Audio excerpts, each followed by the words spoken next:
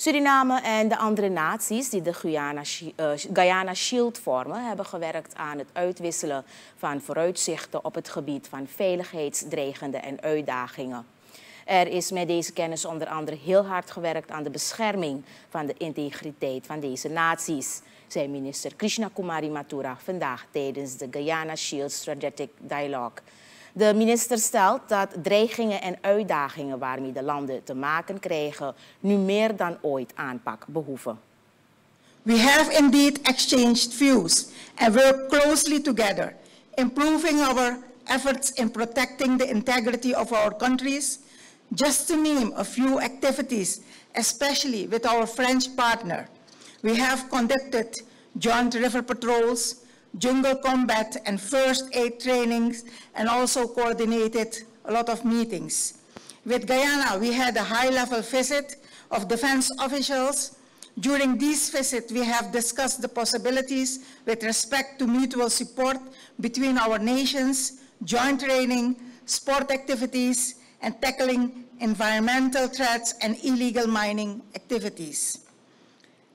Distinguished guests, the continuation of this dialogue is immensely important as we face an increasingly complex security environment.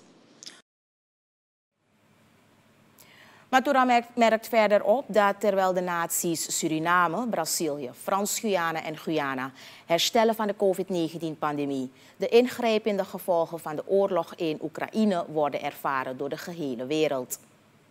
Ongoing threats of organized crime illegal immigration, illegal mining, cyber insecurity, and the impact of climate change. In my country, we are witnessing intense and more frequently floods and gusts. In preparing our institutions for these challenges, we have to reform and redirect our capabilities. We have to increase our readiness and we have to enhance partnerships especially partnerships with neighboring countries. And I want to emphasize that cooperation is immensely important for the harmony that every country longs for.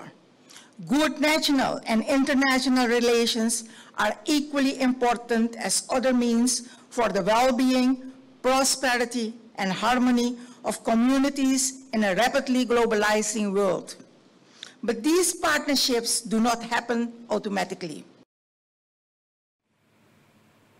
De minister zegt dat er geïnvesteerd moet worden in de partnerschappen tussen de betrokken landen. Het respecteren van elkaars soevereiniteit met daarbij een voorwaarde zijn terwijl het kennen van elkaars cultuur en weten hoe om te gaan met de inwoners van de partnerlanden even belangrijk is, meent Matura. Het Guyana, het Guyana-schild strategisch dialoog moeten het belang van deze aspecten weergeven.